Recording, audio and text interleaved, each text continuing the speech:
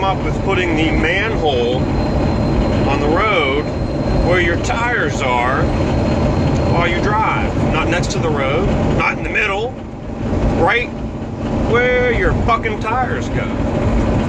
I'd like to find this man. And I believe he should be shot in the dominant knee with a high caliber pistol and then forced to run on a treadmill for a duration.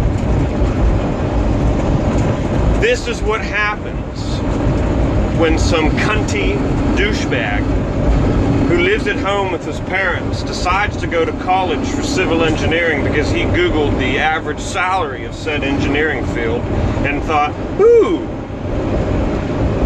So he spent four years locking your slutty daughter up in a cage, having her suck his and six other paid for friend, aka frat buddies' cocks.